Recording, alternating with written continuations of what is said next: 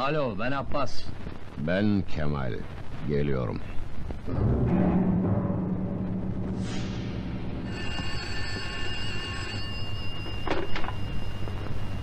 Alo. Ben Kemal. Geliyorum.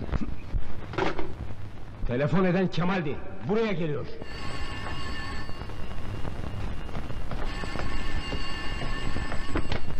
Alo. Ben Kemal. Geliyorum.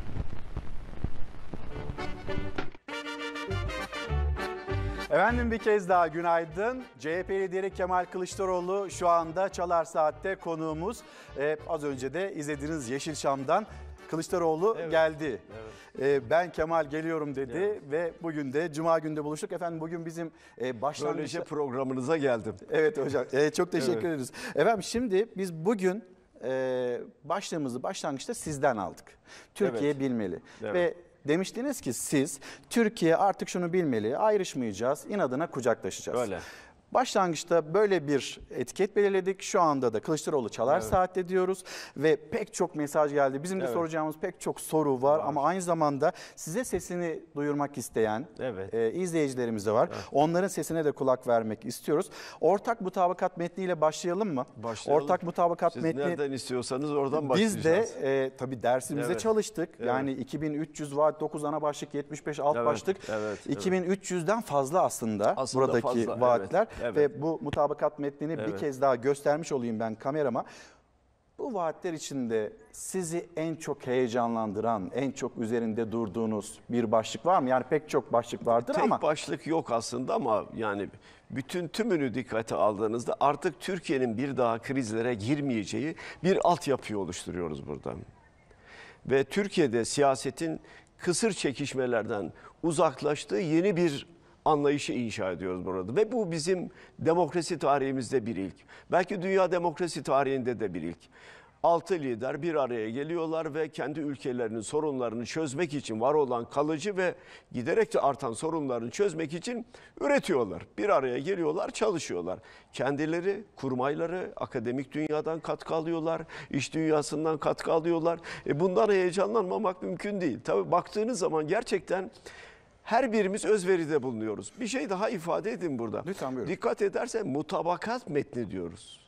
Bu kavram da önemli. Mutabakat yani altı liderin altına imza attı ve iktidar olduğumuzda ki Allah'ın izniyle olacağız. O zaman da bunu hayata geçireceğimizi halkımıza söz veriyoruz. Bir araya geliyoruz, söz veriyoruz. Az önce söylediğiniz kitabı elimize alıyoruz ve bununla da fotoğraf veriyoruz eee, 85 milyona. E, Dolayısıyla bu beni en çok heyecanlandıran bunun bitmesi ve benim dünyamda yarattığı umut. Şimdi Millet İttifakı yerel seçimler öncesinde e, dört partiyle kurulmuştu. Evet. Sonrasında genişledi. E, taban olarak da bayağı Evet, bir genişledi. evet. Sizin de söylediğiniz gibi yani dünya tarihinde ya da Türkiye siyasetinde ilk kez böyle bir durumla karşı Öyle, karşıya öyle. e, kalıyoruz. Yani Saadet Partisi ile CHP, işte İyi Parti ile diğer partiler, AK Parti'den kopup da kurulan ama AK Parti'ye e, ciddi itirazlarla kurulan partiler yan yana geldi. Evet. Her konuda mutabakat olunamayacak yani olamayacak isimlerin Evet. 2300 maddeyi buraya e, Türkiye'nin önüne koyması Evet. çok kıymetli. Peki sonrasında yani yapıcı bir eleştiri geldi mi mesela Cumhur İttifakı'ndan? Ya evet ya biz bunu da dikkate alabiliriz dediğiniz yani derme çatma bir masa lafını Emin duyduk. olun e, yapıcı bir e, eleştiri gelmedi yani e, Sayın Erdoğan'ı dinlediğinizde ya en azından şurası doğrudur diyebilirdi değil mi? Ama hayır tümüyle hayır bu mümkün değil falan gibi e, bana göre sağlıksız bir eleştiri yaptı.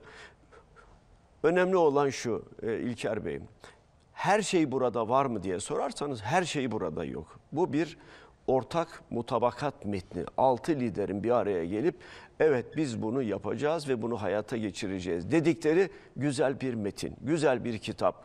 Ve dolayısıyla bu Türkiye'de demokrasi tarihini veya siyasal partiler tarihini yazacak olan bütün akademisyenler buna başvuracaklardır. Bu nedenle bunu çok fazla sayıda bastırdık, çok talep var ve onlara da gönderdik. Burada neyi öngörüyoruz? Bir, burada e, Türkiye'nin e, teknoloji devrimini yakalamasını öngörüyoruz. Üniversitelerin özelliğini öngörüyoruz. Hiçbir çocuğun yatağa aç girmediği bir Türkiye'yi öngörüyoruz. üretenin, alın teri dökenin kazanacağı, avantadan para kazananların ise kazanamayacağı bir düzeni öngörüyoruz.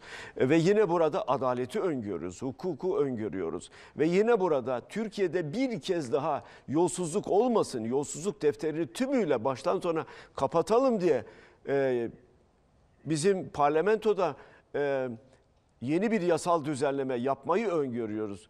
Ve dolayısıyla bu çerçevede ele aldığımızda meseleyi yolsuzluklar konusunda duyarlıyız. E, gelir dağılımının dengeli olması konusunda duyarlıyız. istihdam yaratma konusunda duyarlıyız. E, çiftçilerin, üreticilerin kazanması konusunda duyarlıyız. Sanayicinin teknolojiye yatırım yapması ve bu alanların teşvik edilmesi konusunda duyarlıyız. Yani birden fazla konumuz var ve bütün bunların tümünü burada ele aldık.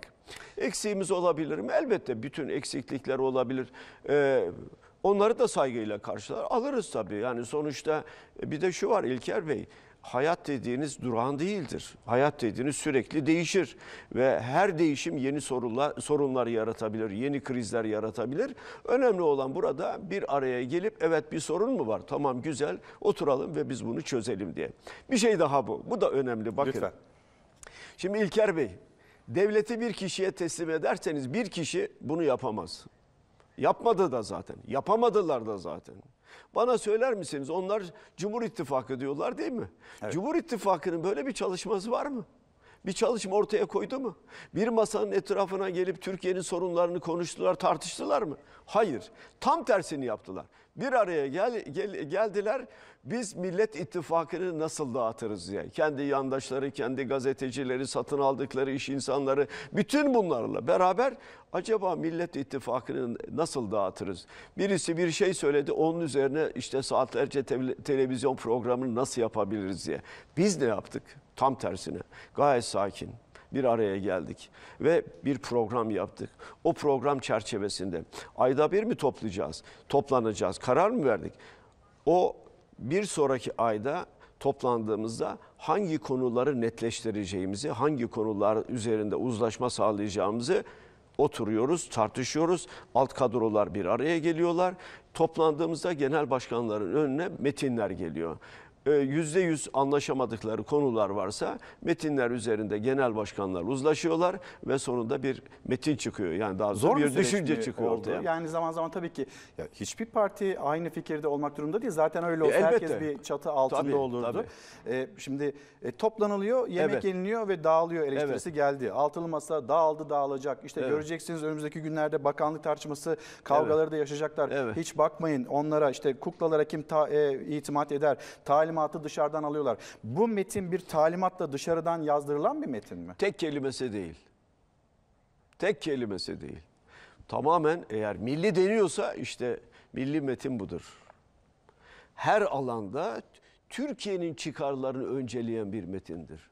Neresi dışarıdan aldı? Çıkın söylesinler. Şurasını dışarıdan aldınız diye. Hangisi dışarıdan alındı?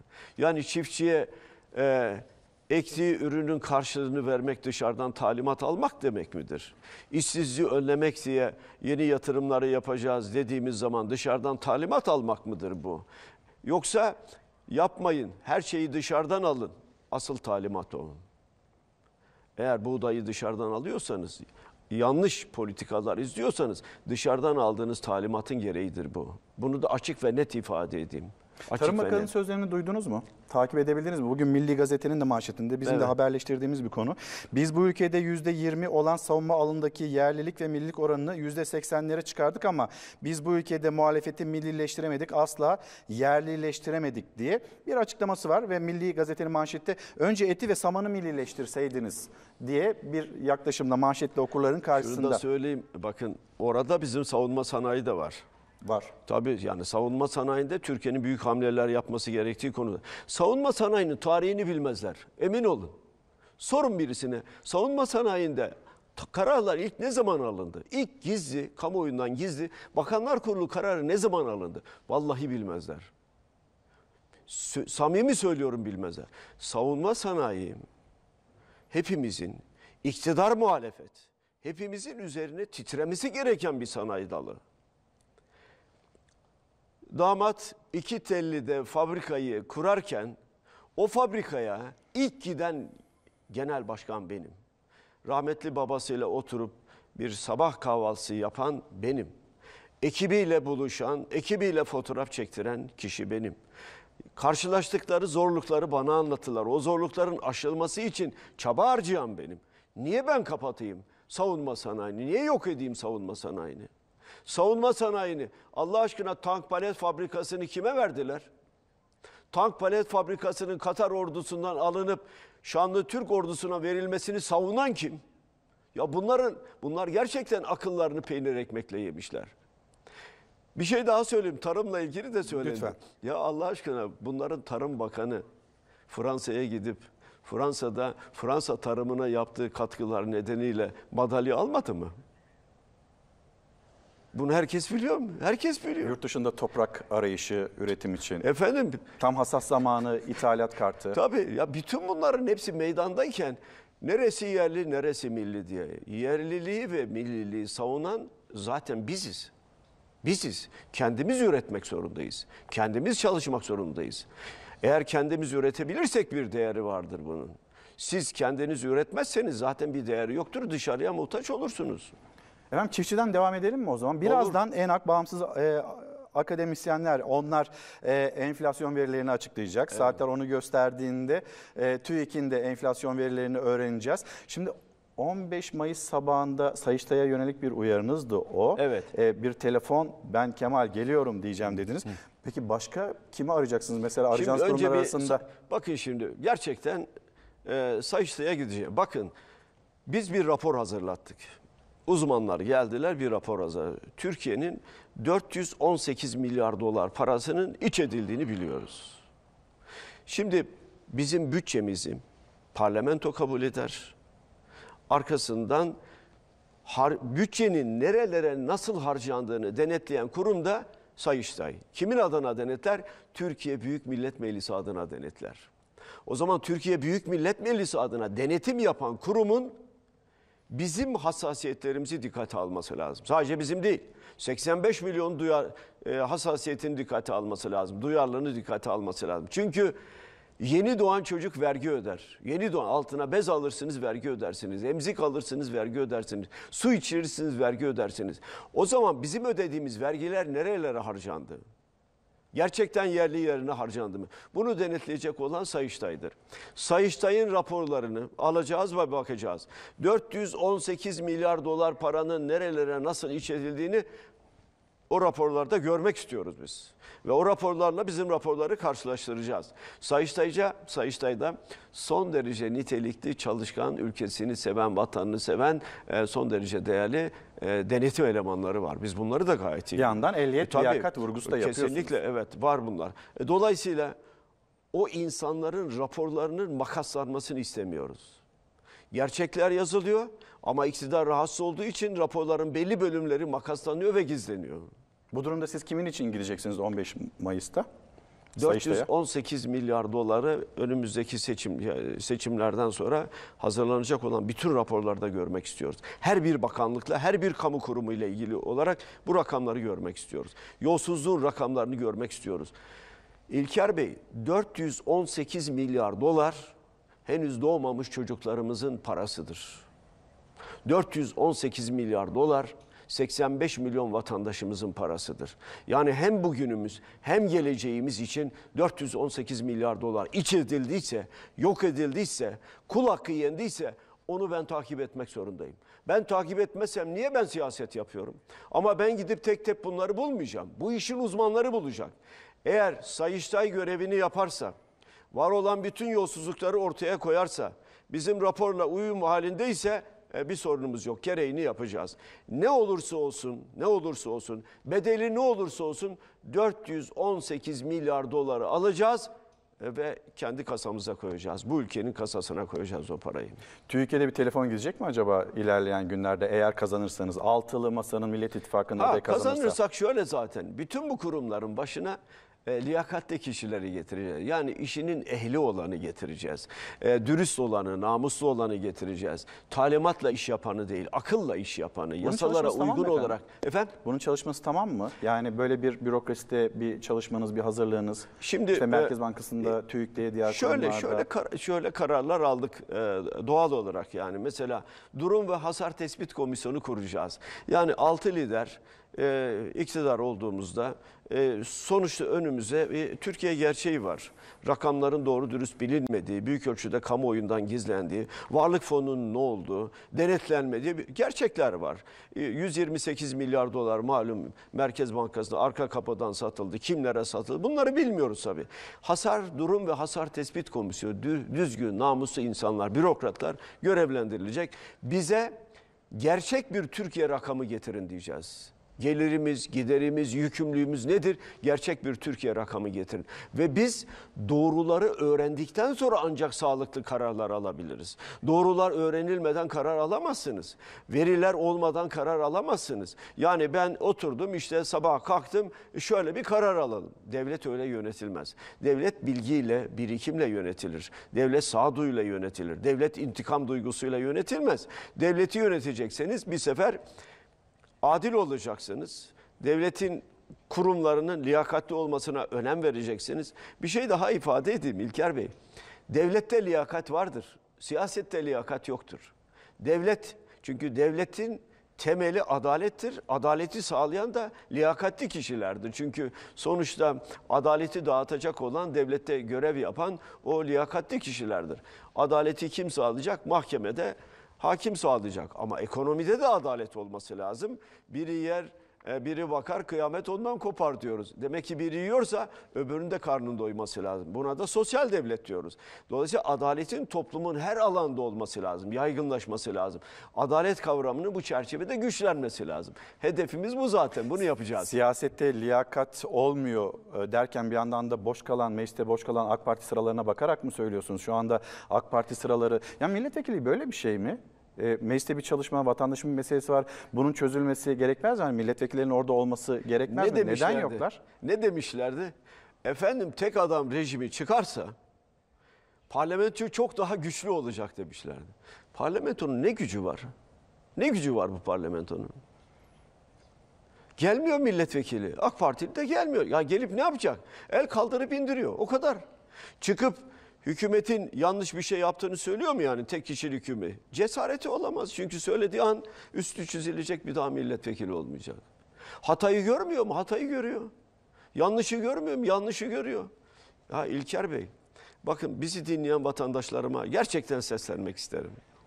Ya bu parlamento, bu parlamento tasarruf mevduatı sigorta fonunda yapılan yolsuzlukların, alınan rüşvetlerin soruşturulması ve kovuşturulması olmaz diye kanun çıkardı ya. Bir daha ifade edin. Ya kimse inanmaz ama bunu bütçe konuşmasında da söyledim. Tasarruf mevduatı sigorta fonu Canikli ile ilişki kurulduktan sonra, Nurettin Canikli ile ilişki kurulduktan sonra oradaki yolsuzluklar, oradaki hırsızlıklar, oradaki rüşvetler ne savcı tarafından soruşturulabilir ne de mahkeme tarafından kovuşturulabilir. Kanun çıktı böyle. Bana söyler misiniz ya? Dünya tarihinde rüşvetin soruşturulamayacağına dair, hırsızlığın soruşturulamayacağına dair bir kanun çıkar mı? Şimdi ben gerçekten vatandaşlarıma seslenmek isterim. Bütün vatandaşlarıma. AK Parti'ye oy veren kardeşlerime de seslenmek isterim. Ya kardeşim siz rüşvete, rüşvet soruşturulmasın, haksızlık soruşturulmasın, yolsuzluklar soruşturulmasın diye parlamentodan kanun çıkaran bir siyasi partiye, iradeye nasıl oy veriyorsunuz? Nasıl oy veriyorsunuz? Bunu mecliste AK Parti sıralarına dönerek söyledim. Bana inanmıyorsanız kanun numaralarını verdim. Ve dedim ki siz hala gelip oy verip vermeme konusunda irade beyan edecekseniz evinizde ilkokula giden çocuğa sorun. O çocuğun vicdanı vardır. O çocuk der ki bu olmaz. Bu kadar olmazdır. Yaptılar bunu. Peki bundan sonra Soygun düzeni yani. Soygun düzeni var. Açık ve ne söylüyorum? Tam bir soygun düzeni var. 418 milyar dedik biz bulduk ama belki çok daha fazla. siz rüşveti soruşturul rüşvet soruşturulmayacaktır diye kanun çıkarırsanız kanun için Anayasa Mahkemesi'ne gittik. Buradan da Anayasa Mahkemesi'ne çağrı yapıyorum. Anayasa Mahkemesi Başkanı yeni seçildi. Ee, Sayın Başkanı da Belki bu yürekten konuda da bir değerlendirme Evet, yaparsınız. e, Sayın Başkanı da yürekten kutlayalım. Ee, Sayın Başkan Rakibi de çok hızlı yükseldi bu arada. Yani e, hukuk camiası da takip edemedi o hızlı yükselişi. rakip dediğiniz kim Ee, İlker Bey? İrfan Fidan. Kim yani? İrfan Fidan biliyorum. İstanbul e, Cumhuriyet Başsavcılığı yaptı değil mi? E yaptı. Kimin talimatlarını yaptı? Erdoğan'ın talimatlarını yaptı. Yargıtay'da bir kararın altına imza atmadan Yargıtay'dan yıldırım hızıyla şeye çıktı. Anayasa Mahkemesi'ne çıktı. Bu olmaz. Bu yargıyı zedeler, yargıyı. Ayıp olan ne? Ayıp onun, onun yaptığı ayıp değil. Çünkü o zaten bütün duvarları yıkmış vaziyette. Ben diyor bir kişiye bağlıyım diyor. O ne derse onu yaparım. Benim için hukuk, adalet falan filan yok. Beni asıl yaralayan Yargıtay'ın o kişiyi seçmiş olmasıdır. Sorun orada. Yüz küsür yıllık bir de- kurum, bir Yargıtay. Yüz küsür yıllık bir kurum. Gelenekleri, örfü, adeti olması gereken, özel kültürü olması gereken bir kurum bir talimatla alıyor bir kişiyi Yargıtay'da bir kararın altına imza atmadan ki orada bir sürü e, bir- birçok e, saygıdeğer yargıç varken onlardan birisini değil de bu beyefendi Anayasa Mahkemesi'ne atıyorlar. Niye atıyorlar? Kendi geleceğini kurtarmak için mi? Kendi talimatlarını yerine getirecek hakim bulmak için mi? Sizce? İkisi de var. Yargı kirlenirse ve yargı görevini yapmazsa devlet organize suç örgütüne dönüşebilir. Bir daha ifade edeyim. Eğer yargıyı kirletirseniz, adaleti dağıtmazsanız, güce sahip olan bir kişi her şeyi yaparsa, her dilediğini yaparsa devlet organize suç örgütüne dönüşmüş olabilir. Türkiye'nin geldiği noktalardan birisi de budur. Bu yüzden dikkat çektiğiniz konular ve düzeltilmesi gereken pek çok konular olduğunu söylüyorsunuz. Mutabakat Ortak mutabakat. Metninin özü budur. Devleti adaleti sağlamak, ahlakı sağlamak artık. Yeter ya. Bu kadar da olmaz yani. Gerçekten yeter yani. Gerçekten bu kadar bürokrasinin, yargı bürokrasisi de dahil bu kadar çürüdüğünü bizim tarihimizde hiç görmemiştik. Bu kadar çürüdüğünü. Böyle bir şey olmaz. İnsanda bir vicdan olur. Ben o zaten yemin törenine de katılmadım. Anayasa Mahkemesi'ne yemin törenine katılmadım. O kişinin yemin törenine katılmak bile başlı başına büyük bir ayıptır. Geleceksin, talimatla oraya gideceksin. Yıldırım hızıyla bu kez de Anayasa Mahkemesi başkanı olacaksın. Ya akıl var, mantık var ya. Ya bir ahlak var ya. Bir erdem var, bir bilgi var ya. Bunların tamamı yerle bir ediliyor ve beyefendi birisinin talimatı efendim beni Sayın Cumhurbaşkanı destekliyor. Beni seçmek zorundasınız. Neyse ki namuslu insanlar var, düzgün insanlar var, ahlaklı insanlar var. Yani en azından Anayasa Mahkemesi'ni de daha fazla kirletmeyelim deyip e, başkanı seçtiler. Seçen kişilere, oy veren kişilere gerçekten yürekten teşekkür ederim. Çoğu, çoğunu tanımam. Çoğunu da tanımam yani. Başkanı sadece törenlerde görürüm o kadar onun dışında. Ama bir kurum varsa, o kurumun gelenekleri varsa ve o kurumun gelenekleri adalet üzerine inşa edilecekse adaleti korumak herkesin görevidir. Görevi olmak zorundadır yani. adaylık konusuna sonra geçmek istiyorum. Evet. Buradan devam edelim. Ortak muta Anayasa çalışması tamamlandı. Ortak mutabakat metni tamamlandı. Meclis iş düzüğü çalışması tamamlandı. İş tüzük çalışması da Evet. tamamlandı. 13 Şubat tarihinde biz artık e, belki siz liderler olarak adayı belirleyeceksiniz ama lansmanını tanıtımını birkaç Bir şey sonraya söyleyebilir miyim Buyurun e. İlker Bey? Şimdi meclis iş tüzüğüne önemli bir düzenleme yapmayı taahhüt ettik iş tüzüğünde. O e, kesin hesap komisyonu kuracağız. Şimdi bir plan bütçe komisyonu var. Bir de mecliste bugüne kadar hiç olmayan, Cumhuriyet tarihinde de hiç olmayan bir kesin hesap komisyonu kuracağız. Kesin hesap komisyonu şu. Bütçe parlamentoya geldiğinde onun yanında ikinci bir kanun teklifi daha var. O da kesin hesap kanunu. Yani daha önce çıkan bütçenin paralarının nerelere harcandığını gösteren kanun. O hiç tartışılmaz. Herkes bütçeyi tartışır. Şimdi biz diyoruz ki bütçeyi tartışalım o gelecek. Ama bir de Ya geçen yıl kabul ettiğimiz bütçe ne oldu? Paralar nerelere harcandı? Doğru mu harcandı? Yanlış mı harcandı? Bu tartışılmıyor. Onun tartışılması için ayrı bir komisyon kuruyoruz. Kesin Hesap Komisyonu.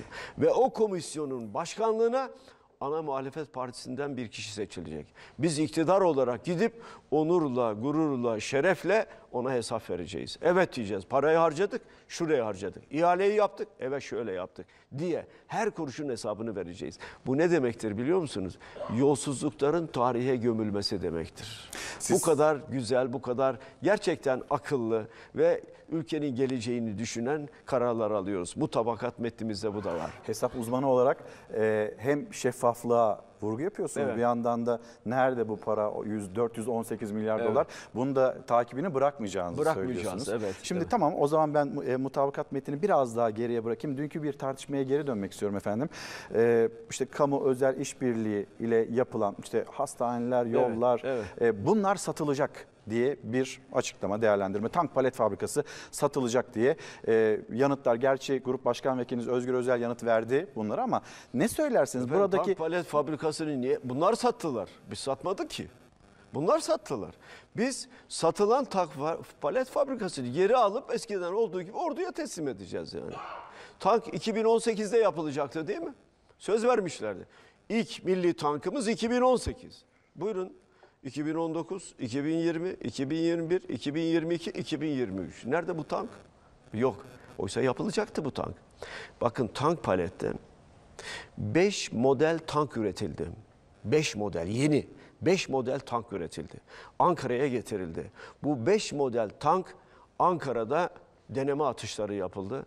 Tamamı başarılıydı. Tankı kimler yaptı? Tank palet yaptı. Aselsan işin içindeydi. Havelsan işin içindeydi. Makina kimya endüstrisi o büyük top e, ne, ne deniyor ona? Obüs. Obüsün şey kısmını, e, atış kısmını yani namlu kısmını onlar yaptılar. Denemeler yapıldı. Her şey başarılı. Seri üretime geçilecekti. Engel oldular. Katarları devreye koydular ve ordunun elinden aldılar bunu. Bu vatana ihanettir. Keşke bununla ilgili bir dava açılsa. Keşke ve ben bütün o belgelerin tamamını hakimin önüne onlar çünkü belgeleri gizliyorlar o be- Hatırlar mısınız? Tank paletle ilgili kararnameyi açıklamıştım. İkinci kararnameyi gizlediler, açıklamadılar. O kararnameyi de ben açıkladım. Çünkü bu ülkede vatansever namuslu bürokratlar var. Yapılan hatayı görüyorlar. Tank üreten Türkiye tank üretemez noktaya getirildi. Sorun da zaten burada. Savunma sanayi diyorlar. Bunların savunma sanayi sesinden bile haberleri yok. Savunma sanayi farklı bir şeydir. Siz Aselsan'da çalışan çok sayıda nitelikli personel nereye gitti? yurt dışında. Ya, hani savunma sanayiydi? Hani burada nitelikli insanlar vardı ve bu nitelikli insanlar nasıl gidiyor oraya? Hiç bunun hesabını yaptılar mı? Bu konuda kamuoyuna bilgi verdiler mi? En nitelikli, en değerli, bakın en değerli insanlarımız yurt dışına gitti ya. Bunlar gönderdiler. Onlar için de onların geri gelmesi için de mutabakatta bir çalışmanız var. Var yapacağız. Onların tamamı ülkelerine gelecekler, çalışacaklar. Biz tank da üreteceğiz, İHA'ları da üreteceğiz, si- SİHA'ları da üreteceğiz. Hiç kimse endişe etmesin bu konuda. Biz gerçek anlamda vatanseveriz. Birilerinin talimatıyla iş yapan bir anlayış bizim kitabımızda yoktur. Hele hele şunu da ifade edeyim İlker Bey. Ya zaten biz Kuvayi Milliyeciyiz. Yani biz o gelenekten gel. 100 yıllık bir Kuvayi Milliye geleneği var bizde. Dokularımızda var, genlerimizde var. Birilerine gidip diz çökmek, ya kapı kapı dolaşıp para dilenmek. Yoktu böyle bir şey. Bizim tarihimizde yoktu. Şimdi dolaşıyorlar.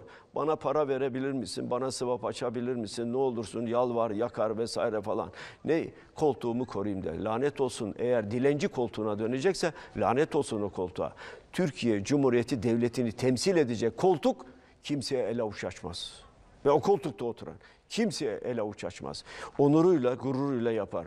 Bakın Cumhuriyet kurulduğunda her şey yapıldı. Fabrikalar, demir yolları, limanlar, uçaklar.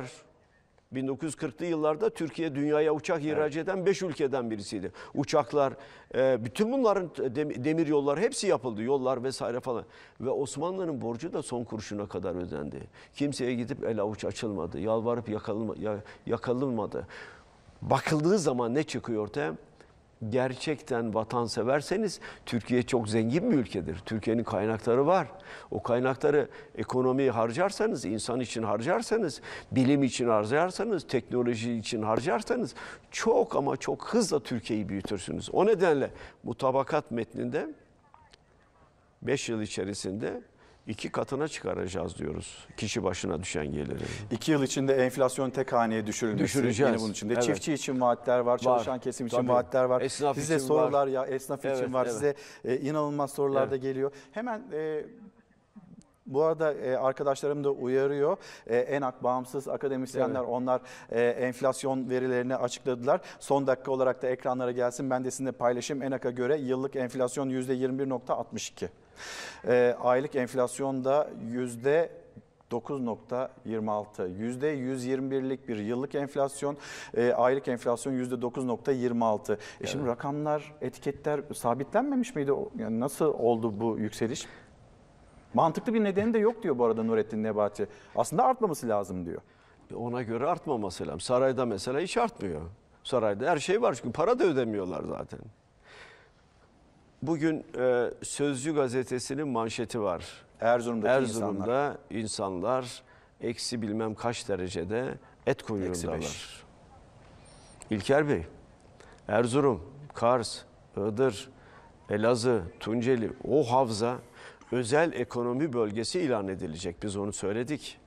Burası canlı hayvan, et ürünleri konusunda Orta Doğu'nun ve Kafkasların en büyük en büyük merkezi olacak burası. 25 milyar dolarlık bir şey var, e, bir e, talep var Orta Doğu'da ve Kafkaslar'da. Bunun 5 milyar dolarını bile yapsanız olağanüstü bir gelir elde ediyorsunuz. Ama et üretiminde bereketli bir coğrafya insanların eksi bilmem kaç derecede gidip et kuyruğuna girmesine eğer yol açıyorsa bugünkü oluşan siyasal ortam ve o insanı o ete mahkum ediyorsa e, bir sorunumuz var demektir. Erzurumlu kardeşim de bunu düşünsün. Bugüne Duyduğunuz kadar sözde hep Tarım bugüne Bakanı'ndan- kadar hep AK Parti'ye oy verdiler. E bir daha vermesinler. Yeter desinler onlar da. Dadaşlardan bunu e, bekleme hakkım var. Onu da ifade edeyim. Tarım Bakanı'ndan duyduğunuzda e, muhalefeti biz millileştiremedik, yerleştiremedik oluyor ama insanlar da eksi 5 derecede o soğukta. Erzurum'da öyle, e, Ankara'da da öyle. Ankara Büyükşehir Belediye Başkanı insanlar daha uygun fiyattan et Evet, alabilsinler evet. diye böyle bir çalışmanın içinde. İstanbul Büyükşehir Belediye Başkanı 29 liraya 4 kap yemek verebilmek için bir çalışma. Yerel yönetimler devreye giriyor. Sonra çocuklara e, bir kahvaltı verelim dediğinde İyi Partili Belediye, Demre Belediyesi Evet. e hayır denildi. Nasıl çıkacak insanlar bu işin içinden? Her şey pahalı, her şey çok pahalı. İktidarı değiştirerek. Bunlar yapamazlar artık gör- görüldü yani. Yapamıyorlar yani. Türkiye yönetilmiyor aslında. Savruluyor Türkiye. Hangi bakan ne yapıyor Allah aşkına? Ne yapıyor bakanlar? Ne yapıyorlar yani? Okuyayım efendim. Ee, Sabah gazetesinde var. Sayın Bakanlar ne yapıyor? Hemen gazeteleri bulayım. Ee, yönetmenimizden Hilal'den ben rica edeyim. Sabah gazetesi, Sabah gazetesinin manşeti. Ee, orada bakanların Türkiye yüzyılına her alanda hazırız diyen e, bakanlar. e, Hazine ve Maliye Bakanı Nurettin Nebati, Türkiye yüzyılı milletimizin istikbal mücadelesidir diyor. E, Vahit Et Kirişçi... kuyruğu, et kuyruğu peki nedir? Et kuyruğu nedir? Eksi 8-9 derecede et kuyruğu nedir? O mudur istikbal? Yani vatandaşa verdiğiniz istikbal eksi 9-10 derecede gel et kuyruğuna gir sana, bu istikbali sağladım diyor. Gerçek bu mu? Bu. Fotoğraf bu mu? Bu. Hayatın gerçeğini görüyor mu? Görmüyor o. Ama hayatın gerçeğini o et kuyruğuna giren görüyor. Beslenme çantasına ekmek koyamayacak anneler var. Hayatın gerçeği mi bu? Evet gerçeği bu. Gerçek görülüyor mu? Gerçek görülmüyor mu?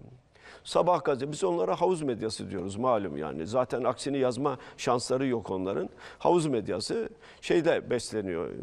Ee, kamu kurumlarının verdikleri ilanlarla, paralarla besleniyorlar. Devletten aldıkları büyük ihalelerle besleniyorlar. Biliyoruz zaten bunların tirajları da göstermelik. Gerçek tirajları değil. Oradan da basın ilan kurumu aracılığıyla devleti soyuyorlar.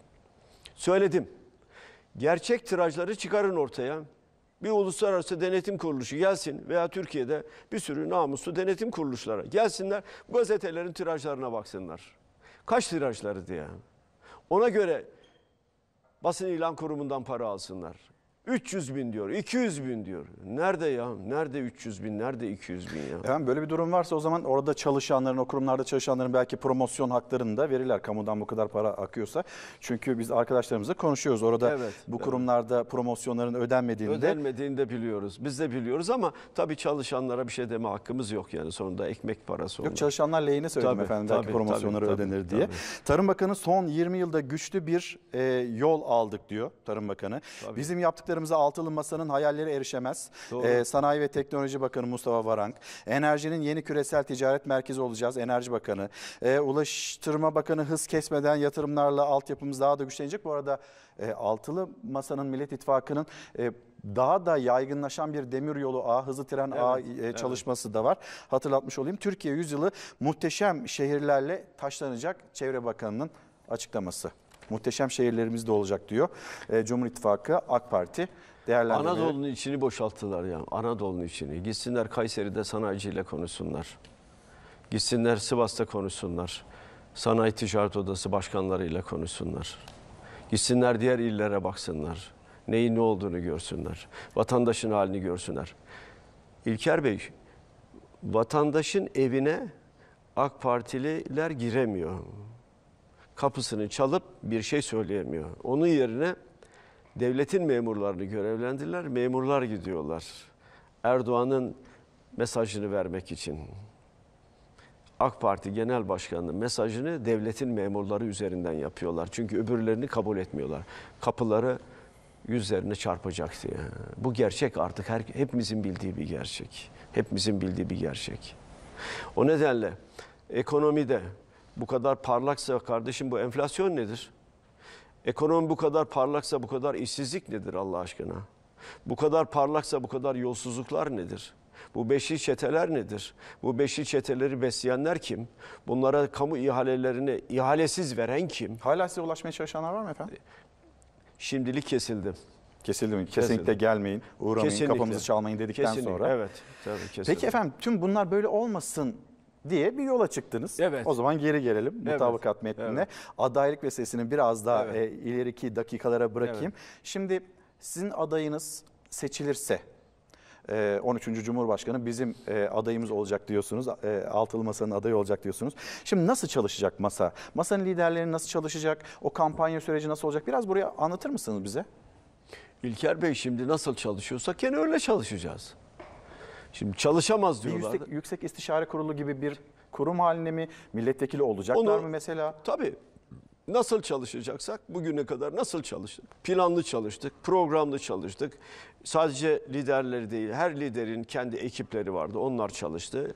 O onlar oralara bağlı olan e, akademik dünyadan katkı verenler oldu, iş dünyasından katkı verenler oldu ve dolayısıyla her bir parti ayrı ayrı çalıştı. Sonra bunlar bir araya geldiler ve ortak metinler oluşturdular, ortak hedefler oluşturdular ve dolayısıyla biz gene aynı şekilde çalışacağız, gene beraber çalışacağız, gene birlikte çalışacağız, gene istişareyle çalışacağız. Adı divan mı olur, adı istişare kurulu mu olur, ne olursa olsun adı hiç önemli değil ki. Önemli olan şu, devlet bir kişiye teslim edilmeyecek. Devlet bir kişiye teslim ediyor. Birlikte konuş olacak. Beraber ve birlikte. Sorun mu var? Oturacağız, konuşacağız. Tabii devletin işi sadece e, altı lider yapacak anlamında değil. Altı lider işin felsefesini, işin stratejisini, işin siyasetini oluşturacak. Altta liyakati kadrolar gereğini yapacak. Yani biz gidip de şunun altına ben imza atayım değil. Yani bunların yaptığı gibi efendim Sayın Cumhurbaşkanı gönderdi onu talimatıyla yangın söndürmeye geldik. Talimat vermese yangın bile söndürmeyecek. Herkes görevini yapacak. Herkes. Biz hedef koyacağız. İşsizliği nasıl azaltırız? Bu ülkeye temiz parayı nasıl getiririz? Bu ülkede teknolojiyi nasıl büyütürüz? Bu ülkede yapay zeka konusundaki çalışmalar, üniversitelerin bu konuda yaptığı çalışmaları nasıl teşvik edebiliriz? Kimsenin oyuna oy oranına bakmadan olacak bir istişare Elbette hali. efendim, elbette. Bu işin oyu yoktur ve bu işin partisi yoktur. Bir daha söyleyeyim. Türkiye öyle bir noktada ki bu işin partisi yoktur. Sorun Türkiye'dir. Türkiye'yi düzlüğe çıkarmaktır. Çürüyen bir yapıyı bütün kurumlarıyla beraber yeniden inşa etmektir. Ahlak üzerine, adalet üzerine inşa etmektir. Bu iş parti meselesi olmaktan çoktan çıktı zaten. Hangi parti meselesi? Memleket elden gitmiş. Biz hala A parti B partisi diye tartışacak mıyız? Hayır tartışmıyoruz. Tam tersine bu mutabakat metninde oturduk. Türkiye'yi ayağa nasıl kaldıracağız? Nasıl büyüteceğiz Türkiye'yi? İşsizliği nasıl bitireceğiz? 6 ayda bu memlekette insanlara nasıl nefes aldıracağız? 2 yıl içerisinde enflasyonu nasıl tek haneye indireceğiz? Hangi politikalarla yapacağız bunu? Devlette atamaları nasıl yapacağız? Liyakatli kadrolar nasıl olacak? Bütün bunların tamamı üzerinde çalışıyoruz. Bakın İlker Bey, Allah nasip eder iktidar olduğumuzda vatandaşımız şunu görecek. Yolsuzluklarla nasıl mücadele ettiğimizi görecek. Vatandaşımız şunu görecek. Verdiği her kuruş verginin bu memleketin çıkarı için nasıl harcandığını görecek. Vatandaşımız şunu görecek. Yatırımların nasıl yapıldığını, Anadolu'nun nasıl şaha kalktığını görecek. Çalışmayan Sivas'taki demir çelik fabrikasının nasıl çalıştığını görecek. Orada istihdamın nasıl yaratıldığını görecek. Bir 20 yıldır ya tek yolcu gemisi bile yok denize. Tek yolcu gemisi bile yok ya. Tek ya. Ya Allah rızası için bir tane yolcu gemisi yok ya. Yok yani. Ya üç tarafı deniz ya. Akıl yok ya. Çünkü hep malı götürme üzerine. Düşünceleri hep devleti nasıl soyacağız? Etrafta böyle bir yapı var. İki Türkiye var onu da söyleyeyim. İki Türkiye var. Bir gerçekten ezilen, gerçekten işsiz olan, gerçekten sesi çıkmayan, gerçekten bir şey söylediği zaman yakalanıp hapse atılanların Türkiye'si. İşsizlerin Türkiye'si, fakir fukaranın Türkiye'si. Bir de yukarıda bir Türkiye var. Bir eli yağda bir eli balda, devleti sömüren, alt gelir gruplarının hak ettiği gelirleri yukarıya transfer ettiren bir düzen var. İki Türkiye var. Yukarıdaki Türkiye'nin keyfi yerinde. Her şey var. Ne isterlerse var orada. Para var, pul var, uçaklar var, her şey var. Beslenme var, yurt dışında, yurt içinde milyar dolarları var. New York'ta gökdelenleri var, çiftlikleri var, e, lüks e, villaları var bunların. Londra'da vesaire pek çok yerde. Peki Erzurum'daki vatandaşın nesi var? Kars'taki vatandaşın nesi var? Kayseri'deki vatandaşın nesi var? İşsizlik. Onların kitabında işsizlik yok. Çalışmıyorlar çünkü avantadan para kazanıyorlar. Ama öbür tarafta acaba asgari ücretle iş bulabilir miyim? Kayıt dışı da olsa asgari ücretle iş bulabilir miyim diye çalışan, e, iş arayan milyonlar var. Üniversiteyi bitirdiği halde işsiz gezen mil- milyonlar var. Onlara da iş beğenmiyor deniliyor. Elbette. Hayır iş beğenmiyor değil. Ben eğitim gördüysem, gördüğüm eğitime uygun iş isterim tabii. Bu benim hakkım değil mi? Bu benim hakkım. Yani ben mühendissem, ne mühendisiysem inşaat veya işte... Ziraat mühendisleri E, ziraat hatırlattı mühendisi- mesela kendilerini. Burada söylemiş olalım. şimdi nerede iş bulacak bu? Nerede bulacak iş? Hala üniversitede sosyoloji bölümünde mezun olup temizlik yapanlar da var. Evlere temizliğe gidenler var. Atanmayan bir öğretmenimiz inşaatta vefat etti efendim. Evet, evet. Bütün bunlar bilindiği halde bu havuz medyası tam tersine güllük gülistanlık bir Türkiye tablosu çiziyorlar sürekli olarak. Şöyledir, böyledir vesaire falan. Oysa siyasetçinin ülkenin sorunlarına kilitlenmesi lazım. Bir kişi açsa şöyle düşünmeli. Bu ülkede bir kişi açsa 85 milyonumuz açtır demesi lazım. Bir kişi karanlıkta kalıyorsa 85 milyon karanlıkta kalıyor demektir. Bir kişinin suyu kesildiyse 85 milyonun suyu kesildi demektir. Siz kendi vatandaşlarınız arasında ayrım yapamazsınız. Ayrım yaptığınız andan itibaren e, Türkiye böyle ikili bir yapıya dönüşür. Efendim şimdi e, kısacık hemen bir hatırlatmış olayım. Mesela artık mesele parti meselesi değil memleket meselesi diyorsunuz. Evet. E, bu durumda adayın bir parti rozeti takmaması mı gerekir ki siz de bu arada uzun süredir parti rozeti takmıyorsunuz. Şöyle diyeyim, evet. Şöyle ifade edeyim. İçinde bulunduğumuz ortam az önce de ifade ettim. Bir parti sorunu olmaktan çoktan çıkmış. Partilerin bizim sorunumuz. Altı lider evet Türkiye'nin bu sorunları var ve biz bunu çözmek zorundayız. Bir araya geliyoruz, oturuyoruz, konuşuyoruz, tartışıyor. Planlı, programlı, neyi ne zaman düşünecek, neyi ne zaman kararlaştıracağız bunlar üzerinde oturuyoruz, çalışıyoruz. Ekiplerimiz çalışıyor. Dolayısıyla olayı bir parti olayı şeklinde tanımlarsanız bu iş yürümez. Olay bir parti olayı olmaktan çoktan çıkmış. Olay bir Türkiye olayıdır ve biz e, Türkiye'yi ayağa kaldırmak için zaten yola çıktık. Birlikte yola çıktık, beraberiz, bir yuvarlak ma- masanın etrafındayız. E, beraber bir Yani konu- rozetin Türkiye rozeti olması gerekiyor. Rozet tabii Türkiye rozeti yani sonuçta e, Türkiye hizmet ediyoruz tabii. İkinci yüzyıla çağrı beyanımız. Geçen yüzyıl değil. Geçen yüzyılın pek çok sorunu oldu. Onlar geçen yüzyılda kaldılar. Biz ikinci yüzyılı inşa etmek istiyoruz. İkinci yüzyılı, Türkiye'nin ikinci yüzyılı görkemli bir yüzyıl olmalı. Türkiye bölgesinde de dünyada da saygınlığı olan bir e, ülke olabilmeli. Yani bizim istediğimiz bu. Şimdi vatan millet Sakarya diyorlar. Ya vatan millet Sakarya diyorsun da kardeşim sana aptal diyen adama ses bile çıkarmadın ya. Türkiye'nin itibarı bu kadar ayaklar altına alındı ya. Böyle bir şey asla olamaz ya. Olmamıştır bizim tarihimizde ama bu oldu. Oldu yani. Efendim bir virgül koymanızı isteyebilir Tabii. miyim? Şimdi reklamlara gidelim. Döndüğümüzde atanmayan öğretmenler ailelere destek sürecek mi diye bir soru. İntibak yasasını isteyenler, kitlerde taşeronlar ne olacak diye Evet. pek çok soru var. Ee, e, EYS antrenörler, SMA'lı bebekler efendim. Bunu da Evet, soracağım. evet. Bununla ilgili Doktor Ozan Bingöl'ün de bir verisi var. Onu da aktaracağım. Hem size hem de izleyicilerimize. Reklamların ardından devam ediyoruz. Kılıçdaroğlu Çalar Saat'te. Efendim bir kez daha günaydın. Çalar Saat'te devam ediyoruz. Kılıçdaroğlu Çalar Saat'te etiketimi sorularınızı bizlere ulaştırın. Biz de gündemin notlarını hızlı bir şekilde yine aktarmaya devam edelim. Efendim EYT konusu başlığıyla devam edelim istiyorum. Şimdi Evet. bir söz, bir müjde verildi. Aralık denildi, Ocak oldu, Ocak denildi, Şubat oldu. E, Mart şimdi Şubat'tan Mart. daha iyi olacak deniliyor. E, açıklamalar bu şekilde. 7 Şubat tarihinde komisyondan çıktı, genel kurula gelecek. Ama şimdi bir prim e, karşısına çıktı EYT'lerin. evet. Ne dersiniz? Sizin savunduğunuz, sizin anlattığınız neydi? Karşılaştıkları nedir? Ee, önce şunu ifade edeyim. EYT'lilerin taleplerini gittiğimiz her yerde dillendirdik ve bu taleplerin yerine ge- getirilmesi gerekir diye söyledik. Erdoğan çıktı, hayır dedi ben bunu yapmayacağım. Benim siyasi hayatıma da mal olsa ben bunu çıkarmayacağım diye. O sorunu bilmiyor, ben sorunu biliyorum. Sorun nedir efendim? Sorun bu insanların bu insanların haklarının büyük ölçüde ellerinden alınmaları.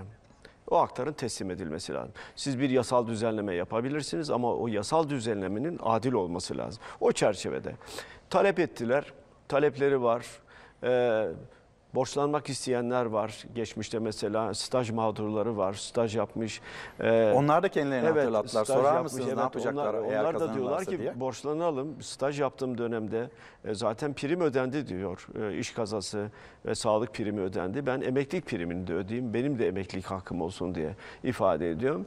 Tabii işverenler açısından sorun var. Kıdem tazminatının öden, ödenmesi için. Onun için de e, bir e, düşük faizli veya sıfır faizli kredi açılması lazım. İş dünyasının rahatlatılması açısından da.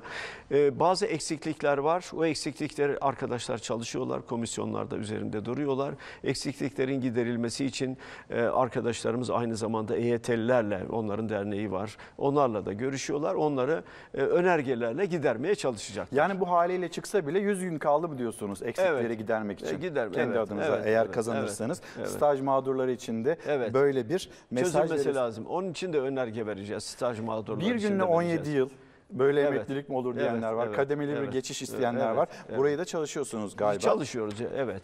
Bu konuda iyi bir ekibimiz var. Ee, Aslında grupta iyi bir ekibimiz var. Onlar biliyorlar, bakıyorlar, ediyorlar. Ee, alıyorlar e, teklifi bütün ayrıntılarına bakıyorlar. Sonra sorunu yaşayanlarla konuşuyorlar. Yani EYT'lilerle, onların dernekleriyle konuşuyorlar. E, Dolayısıyla o çerçevede önerileri verecekler. Peki efendim şimdi e, sizin 7 Haziran vaadinizdi. Emeklilere iki ikramiye bayram Evet, öncesinde. evet, evet. İzleyicilerim soruyor. Ekonomi hızla toparlanır mı'nın yanında emeklilere o ikramiyeler devam edecek. Edecek, artarak devam edecek. Artarak. Bin lira veriyorlar. Biz asgari ücret kadar bir ikramiye verilmesini istedik. Uzun ısrarlarımızdan sonra bin lirayı 1100 liraya çıkardılar. Sanki bu ülkede hiç enflasyon yok. İkramiye aynen durdu. Oysa o ikramiyenin e, normal olarak e, artması gerekiyor. En azından Hadi resmi enflasyon oranında bari artırın dedik yani. Diğerini artıramıyorsan resmi enflasyon oranında artırın dedik. O da olmadı ama olacak tabii.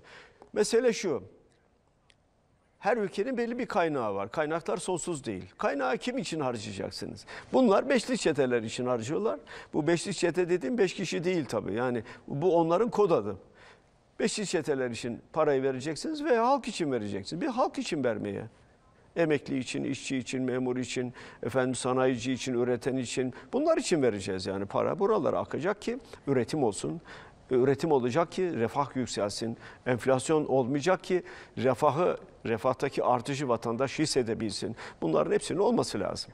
Efendim şimdi siz e, az önce enflasyon sanki bu ülkede enflasyon yokmuş gibi 100 lira artırdılar emekli ikramiyesini dediniz. En yakın enflasyon verilerini ben bir kez daha izleyicilerimize hatırlatayım. Yıllık enflasyon %121.62.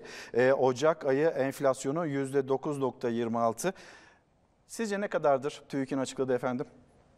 64'ün altında mıdır üstünde midir?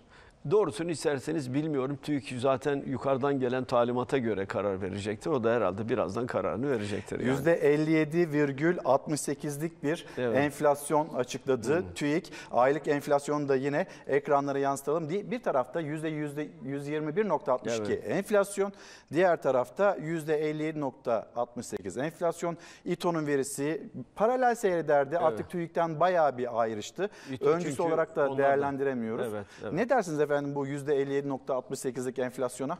İşçiye, memura, emekliye, dul ve yetime az para vereceksiniz demektir. Talimat geliyor, rakamları düşürün, rakamları düşürün ki e, biz o düşük rakamlara göre onlara kaynak aktaralım, para verelim diyorlar. E, TÜİK'in görevi de bu. TÜİK bağımsız bir kurum değil. E, dolayısıyla alınan talimat üzerine e, e, enflasyon rakamlarını oluşturuyor.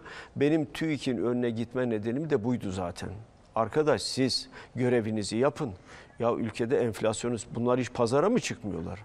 Bunlar hayatı mı bilmiyorlar? Görmüyorlar mı? Görmeleri lazım, bakmaları lazım, bilmeleri lazım. Ama talimat geliyor böyle yapacaksınız diye. Dediğim gibi bu işçinin, memurun, emeklinin, dul ve yetimin hakkını yemedir. Hakkını yemedir. O nedenle görevinizi yapın dedik. Başkan istifa etti. Şimdi yeni bir ekip geldi. Bunlar eski tas, eski amam devam ediyorlar. Liyakati sağlayacağız İlker Bey. Dürüst ve namuslu. Enflasyon neyse çıkıp onu açıklayacak. Neyse siyasi iktidar rahatsız olabilir. Zaten rahatsız olsun diye açıklayacak. Yani sen sağlıklı kararlar alamıyorsun. Devlet olarak ben bakıyorum. Enflasyon senin söylediğin ya da bana verdiğin talimat çerçevesinde enflasyon yüksek demesi lazım. Gerçek rakamlar budur demesi lazım. İşsizlikte gerçek rakamlar budur demesi lazım. O zaman devlet görevini yapmış olacak. Bürokrasi görevini yapmış olacak. Sayıştay'ı uyarmıştınız. TÜİK'in daha önce önüne gittiniz. Gittim, E, evet. randevu talep edilseydi biz kapımızı açardık diye bir yanıt verildi. E, şimdi bir telefonda acaba var mı da böyle telefon edeceklerinizin bir listesi? Yok hayır o liste zaman o, o, e, Sürpriz duruma değil mi? göre duruma göre evet. Efendim şimdi adaylık konusuna gelelim mi? Ee, yani nasıl Evet. belirlenecek kısmına e, geldik artık. 10 gün kaldı. Evet, Masada 13 Şubat tarihinde siz bir karar vereceksiniz liderler olarak. E, bir tarafta tabii ki deniliyor ki dayatma olmasın. Diğer tarafta e, herkesi kapsayacak bir lider olsun, bir cumhurbaşkanı adayı olsun. Siz diyorsunuz partili olmasın, rozeti olmasın. E, onun rozeti Türk bayrağı olacak. Çünkü artık mesele memleket meselesi. E, bir partiler yarışı Evet. değil yaklaşımındasınız. Saadet Partisi lideri Temel Karamollaoğlu dün e, size geldi. Evet. E, liderler trafiği de devam ediyor. E, Sayın Babacan'la Ev sahipliği da- yapıyor, Sayın e, Temel Bey. Davutoğlu'yla evet Ev 13 sahipliği Şubat'ın da yapıyor. ev sahibi Sayın Evet. Davutoğlu'yla görüştü. Sizden sonra e, Sayın Uysal'la da görüştü. Evet. Sizinle konuşması konuşması kulislere yansıdı. Evet. Gazeteci İsmail Saymaz e, o da yazdı bunu. E, görünen köy demeyeyim de hep ben liderlerle görüştüm şu ana kadar görüştüğüm liderler arasında sizin isminize bir itiraz yok diye bir ifade kullandığı kulislerde yer aldı. Doğru mudur?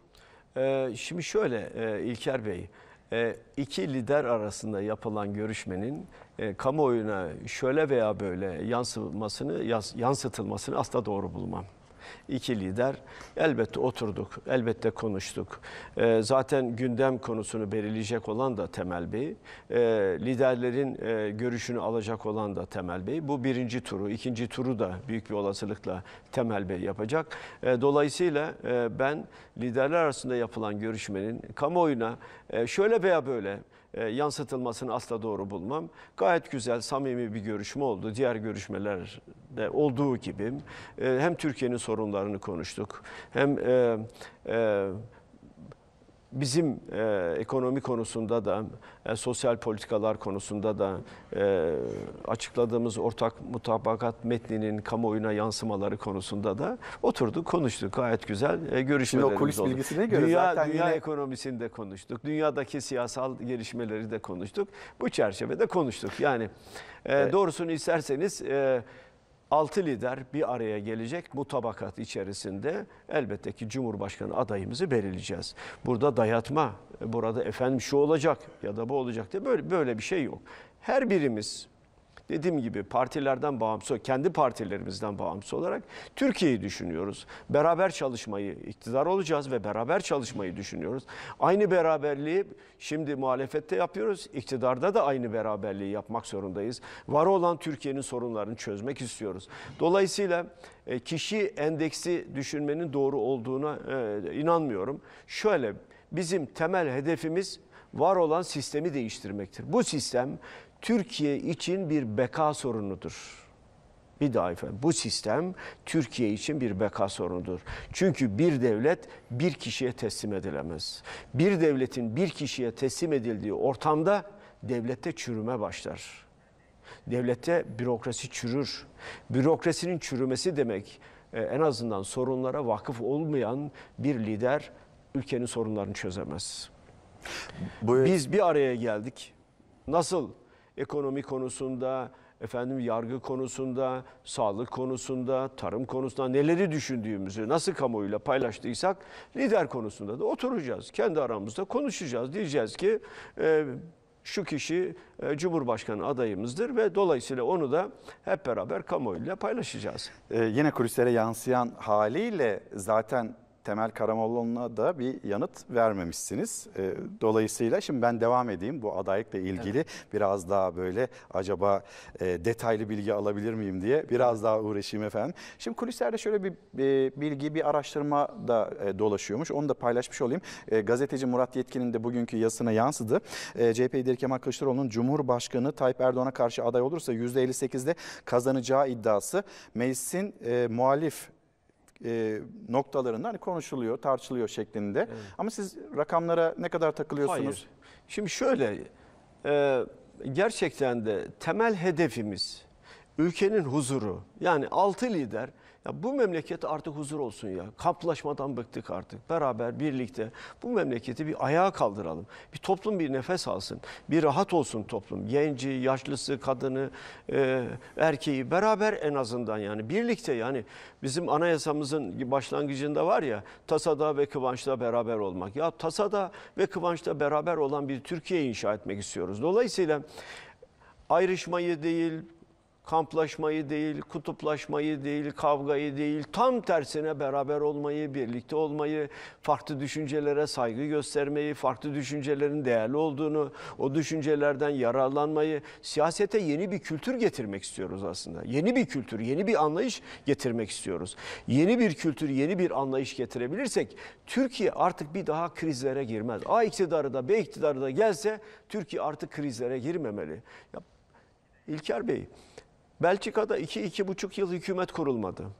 Ya bir Allah'ın kulu çıkıp ya nerede bu hükümet mahvolduk diye bir cümle de kurmadı. Çünkü devletin aygıtı zaten çalışıyor. Vatandaş gidiyor işini hallediyor. Biz de böyle bir sistemi, yeni bir sistemi inşa etmek. Yani yola çıkış gerekçemiz de bu. Devlet dediğiniz mekanizma saat gibi sürekli doğruları gösteren bir saat gibi çalışmalı mekanizma. A partisi gelir iktidar olur, B partisi gelir iktidar olur ama hukuk, ama adalet, ama birliktelik, ama huzur, toplumun huzuru bunların korunması lazım. Bu çerçevede hareket ediyoruz. Yeni bir siyasi anlayışla. Evet şimdi 13 Şubat'ta her parti e, bir isim mi getirecek? Mesela Cumhuriyet Halk Partisi, İyi Parti, diğer partiler bir isim mi getirecek masaya? Nasıl bir e, toplantı olacak o? Te- Temel Bey gündemi Temel Bey belirliyor. Her toplantıda gündemi ev sahibi olan genel başkan belirler. Ev sahibi olan genel başkan birinci turunu yapar liderler arasında, ön görüşmeleri yapar. Sonra e, biraz daha olgunlaştırır, ikinci turunu yapar ve ikinci tur sonunda da bize e, toplantının gündemini verir ve biz o gündeme göre e, arkadaşlarımızla görüşürüz, tartışırız ve liderler toplantısına katılırız. Peki mesela Temel Bey masaya isim de getirebilir bu durumda. Şimdi ben Siz bilmedin. Şimdi temel ve adına konuşmak e, benim açımdan doğru değil. Peki, o zaman ben- ben her liderin her liderin söylemine saygı duyan e, bir kişiyim. E, her lider düşüncesini e, rahatlıkla ifade eder. Zaten altılı masanın varlık nedeni de o yani. Her birimiz düşüncelerimizi özgürce, rahat bir şekilde ifade ederiz. Otururuz, uygar bir şekilde konuşuruz ve sonunda bir karara varırız ve vardığımız kararı da kamuoyuyla paylaşırız. Altılı Masa'nın adayının kazanmama ihtimali var mı? Hayır. Her parti liderine sorduğum sorulardan bir tanesi. Evet. Bir diğerine geçeyim. Evet. Temel Bey gündemi belirleyecek. Belki de e, adaylıkla ilgili o gündem, isimler de gündeme gelebilir. Evet. Temel Bey masaya e, aday teklif olarak CHP lideri Kemal Kılıçdaroğlu'nu getirirse sizin yanıtınız ne olur? şöyle mutabakat olması lazım. Yani bir adayın gelmesi e, ve onun işte e, çıkması diye bir şey yok. Mutabakat olması lazım. Benim öteden beri üzerinde durduğum, diğer genel başkanların da üzerinde durduğu mutabakat olması lazım. Bakın sizin az sizin önce reyinizi- gösterdiğiniz, az önce gösterdiğiniz neydi? Ortak mutabakat metni. Evet. Yani hepimizin üzerinde mutabık kaldığı bir şey. Burada da mutabakat olması lazım. Mutabakat olmadan e, bir karar almayı asla doğru bulmam. Zaten öyle bir karar çıkmaz. Ben sizin oyunuzu, bu soru Evet. geldiğinde ben sizin oyunuzu soruyorum aslında. Yani Temel Karamollaoğlu e, aday teklifi olarak sizin isminizi getirirse itiraz eder misiniz? Hayır benim itiraz etmeye hakkım yok zaten. Yani mutabakat olur. Ya diyelim ki ismim üzerinde mutabakat oldu. Elbette bu görevi yapmak onurlu bir şeydir. Yani biz e, hayır e, siz neden benim adımı e, ileri sürüyorsunuz diye bir özel e, itirazım olmaz yani bu. Zaten işin doğasına aykırı olur o zaman. Bir kez daha, Mutabakatın dışına çıkmak olur o zaman. efendim bir kez daha e, Cumhurbaşkanı adayının özelliklerini hatırlatır mısınız? Çünkü grup toplantılarında ya da buluşmalarınızda, halkla buluşmalarınızda nasıl bir Cumhurbaşkanı olacak? Şimdi Cumhurbaşkanı adayının bir, var olan bu çalışmayı, bir yıldır sürdürüyor bu çalışmayı, devlet yönetiminde de aynı anlayışla sürdürmesi lazım. Yani bu tabakatı sağlamak zorundayız. Aynı anlayışla. İki, gerçekten adalet için, gerçekten temiz birisi olması lazım. Yolsuzluklara adının şöyle veya böyle hiç bulaşmaması lazım. Mal varlığı Adaylığının açıklandığı gün mal varlığını kamuoyuyla paylaşması lazım. Kendisinin, ailesinin mal varlığını paylaşması lazım. Devlette zenginleşme, devlet yöneticileri devlette zenginleşemezler efendim. Zenginleşirlerse halkın çıkarını değil kendi çıkarlarını korumuş olurlar. Bunun da yapılması lazım. Toplumun her kesimine sıcak mesajlar vermesi lazım. Kişinin kimliği, inancı ve yaşam tarzı dolayısıyla bir ayrım, bir ötekileştirme yapmaması lazım. Ve temel bazı kararları yine ortak mutabakat içinde alması lazım. Ee, devlet haklarının olması lazım. Devlet dediğiniz kurumu iyi tanıması lazım. Devlet dediğiniz kurum e, farklı bir şeydir. O devletin gelenekleri vardır, örfü vardır, adetleri vardır. Her bir kurumun kendine göre ayrı bir kültürü de vardır zaten. Ee, üniversitelerin bilgi üretmesi lazım. Bu konuda özel çaba, çabalar harcaması lazım. Ve kısa süre içerisinde, öngörülen kısa süre içerisinde de güçlendirilmiş parlamenter sisteme geçmesi, geçmemiz, geçmesi lazım. Yani bu hedefin de buradaki hedef daha önce açıkladığımız hukuksal altyapıyı oluşturan hedeflere de kilitlenmesi lazım. Belli bir zaman dilimi içinde onların tamamını gerçekleştirmesi lazım. E, 14 Mayıs'ın kazanan sloganı hangisi olacak? E, Bay bay Kemal mi? Bay bay hepiniz mi? E, bay bay hepiniz de olabilir ama ba- bana göre güle güle Erdoğan demek daha uygun. E, güler yüzle, e, kendisini de fazla incitmeden e, bu kadar görev yaptı. Ona güle güle demenin zamanı zaten. Efendim şimdi e, gelelim mi? E, gelen mesajlara ben Evet. hızlı bir şekilde ekonomi hızlı toparlanır mı? Aslında bunun yanıtını verdiniz. E, verdim evet. Yani Ay, 6 altı ay ayda bir nefes aldırırız. Enflasyonu da 2 yıl içinde tek haneye indiririz. Atanmayan öğretmenler. E, Cumhuriyet'in 100. yılında 100 bin öğretmen ataması yapacağız. En az 100 bin öğretmen. Ailelere e, sosyal destekler devam edecek mi? Aile destekleri sigortası yasası e, çıkacak. E, sosyal destekler devam edecek. Ama bugünkü şartlarda değil. Doğrudan doğruya kadının banka hesabına parayı yatıracağız. Kadın gidip parasını çekecek. İşçi, memur, emekli gibi çoluk çocuğun rızkını sağlayacak. Yani onun yoksulluğunu asla afiş etmeyeceğiz. Sağ elin verdiğini sol el görmeyecek. Felsefe bu. intibak yasası çok soruluyor. Yani EYT ile soruluyor. birlikte E, EYT ile birlikte gelmedi ama intibak yasasında çıkaracağız. Çünkü fazla prim ödeyenin az emekli aylığı aldığı gibi bir haksızlıkla karşı karşıyayız. Bu haksızlığın giderilmesi lazım. Efendim şu ana kadar sorduklarımın bir kısmı galiba bu mutabakat metninin içinde de var. Var, evet. Var. Ee, kitlerde taşeronlar. Hepsi kadrolu. Devlet taşeron çalıştırmaz. Devlet ya işçi çalıştırır ya memur çalıştırır. Yani taşeron işi ne demektir yani? Saygısızlıktır aslında yani. Bir de aslı işi yaparken vermemektir. E, niye taşeron olarak çalıştırılıyor? Yani, Na- Nasıl evet. bir formül Evet, bulunmuş? evet. E, kamuda çalışan mühendisler, onlar uzun süredir e, mesaj göndermiyorlar da sizin geldiğinizi, Evet. geleceğinizi duyunca bayağı bir mesaj Onların gönderdi da onlar da. onların da özellikle ziraat e, ziraat şimdi atama bekleyen mühendisler var. Atama bekleyen mimarlar var. E, bunların da ciddi Diş sorunları hekimleri var efendim. Diş hekimleri var. Ciddi gerçekten bakın bir devlet sağlıklı işleyen bir devlet sağlıkta boş kadro tutmaz. Çünkü sağlıkta boş kadro demek bir kişinin sağlığını ih- ihmal etmek anlamına gelir. Güvenlikte boş kadro tutmaz. Sosyal güvenlikte boş kadro e, tutmaz. Eğitimde boş kadro tutmaz. Bunların tamamının dolu olması lazım. Siz biz köy okullarını aşacağız mutabakat metnimizde o var zaten. Köy okullarını açacağız ama köy köylerde aynı zamanda ziraat mühendisi, ziraat teknisyeni, hayvancılık yapılıyorsa veteriner de görevlendireceğiz. Yani bir köyde imamı olacak, öğretmeni olacak, ziraat mühendisi olacak, veterineri olacak, hizmet gidecek. Yani devletin kırsala hizmet götürdüğünü kırsalda çalışan kişi bilecek. Ayrıca kırsalda çalışan gençlerin ve kadınların sosyal güvenlik primini devlet olarak biz ödeyeceğiz. Neden? Köyler boşaldı. Kimse kalmadı. Bu insanlar Üretim yapacak olanlar azalıyor. E, Azalıyor. Büyük kentlerin varoşlarına gidiyorlar. Acaba asgari ücretle iş bulabilir miyim diye. Kırsalda çalışsınlar, üretsinler. Zaten onlara alın terinin karşılığını vereceğiz. Yani maliyet artı makul kar eşittir taban fiyat olacak. Havza bazlı planlama yapacağız. Aynı zamanda çalışıyorsa onlar çalışsınlar, üretsinler, sosyal güvenlik primlerini devlet olarak biz ödeyeceğiz. Böyle olağanüstü güzel bir avantaj sağlıyoruz. Efendim astsubaylarımız, emekli olanlar, muvazzaf olanlar hatırlatıyor kendilerini. Evet. Uzman çavuşlarımız e, ne zaman bitecek bizim bu sözleşme çilemiz diye Orada bir başka o, soru. o, o çok temel sorunlardan birisi, gerçekten temel sorunlardan birisi. O konuda oturup e, sağlıklı ve tutarlı bir çözüm üretmemiz lazım. Belli bir süre çalışıyor, ondan sonra de- de- kamuda görev e, alabilir deniyor ama kimse çalıştırmıyor ya da boş kadroları yok. Orada kesin, sağlıklı, tutarlı bir düzenleme yapmak lazım. Devletin bir süre çalıştırıp sonra kapının önüne koyduğu ve açlığa mahkum ettiği bir yapı olamaz. O görevini yaptıysa ve oradan ayrılması gerekiyorsa kamuoyuna başka bir yerde iş bulmalı ve gidip burada çalışacaksın demeli ve ona kadro vermeli. Denklik sorunu bekleyenler, öğrenciler yani buradan yurt dışına okumaya giderken e, sözleşmeyle Vallahi ilgili İlker Bey yükü kaldıracağız zaten. YÖK dediğimiz biliyorsun bir darbe ürünü e, bir kurum. YÖK'ü tümüyle kaldıracağız. E, Kaldırdıktan sonra da pek çok sorunu da çözmüş olacağız.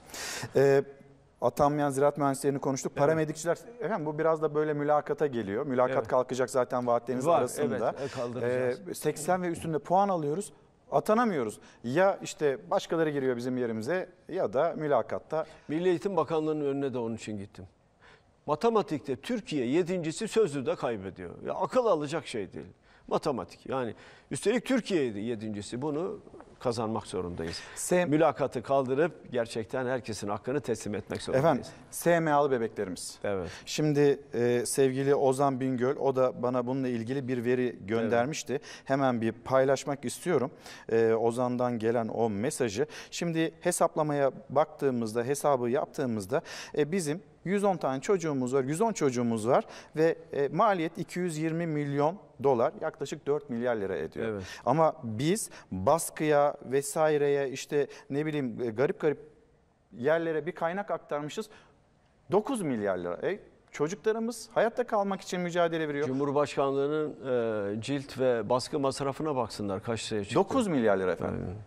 9 milyar lira. Dolayısıyla her evladımız bizim için değerlidir. Eğer bir fedakarlık yapılacaksa zaten bu çocuklar için ya. Biz vergiyi niye veriyoruz? İmkanı olmayan, gücü olmayan kişilere yardım. Bu, bu yardımın ötesinde bu çocukların yaşaması lazım. Anneler nereden bulacaklar bu kadar parayı? Durumu iyi olan zaten götürüyor. Amerika'da tedavi ettiriyor. imkanlar, o imkanlar sağlanıyor. Ama fakir fukaranın çocuğu ölüme mahkum ediliyor. Bir anne çocuğunun ölüme mahkum edilmesini asla kabul edemez. Asla. Ve o anne asla huzur bulamaz. Sosyal devlet bunun için vardır zaten. Sosyal devlet gereğini yapacak, o çocuğun bütün ilaç masraflarını karşılayacak. Efendim çok teşekkür ederim. Geldiniz, Çalar Saat'te konuğumuz oldunuz. Ee, e, Kılıçdaroğlu, CHP lideri Kemal Kılıçdaroğlu Çalar Saat'teydi. Sorularımızı yanıtladı. Sizlerden gelen sorulara yetişebildiğim ölçüde ne olur kusura bakmayın eğer yetişemediklerim olduysa ama zaman içinde yine yayın yaparız değil mi efendim? O Tabii, diğer eksik kalan tabii, soruları tabii, da tabii. sizin yanıtlamanızı ve yine e, Millet İttifakı liderlerinin yanıtlamasını isterim. Kapatırken her zamanki gibi teşekkürümüz sizlere ve tekrar ev sahipliğiniz için de Sağ size olun. de teşekkür ediyoruz. Hafta başında pazartesi günü saatler 7.15'i gösterdiğinde biz yine burada olacağız. Çalar Saat'te olacağız. O ana dek buluşuncaya dek. Hoşçakalın. Güzel bir gün, güzel bir hafta sonu olsun. Pazartesi günü görüşürüz. Yoklamaya devam edeceğiz memleketin gündemiyle birlikte.